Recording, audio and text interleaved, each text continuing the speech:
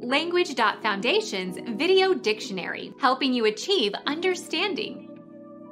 The rate at which a person inhales and exhales, usually measured to obtain a quick evaluation of a person's health.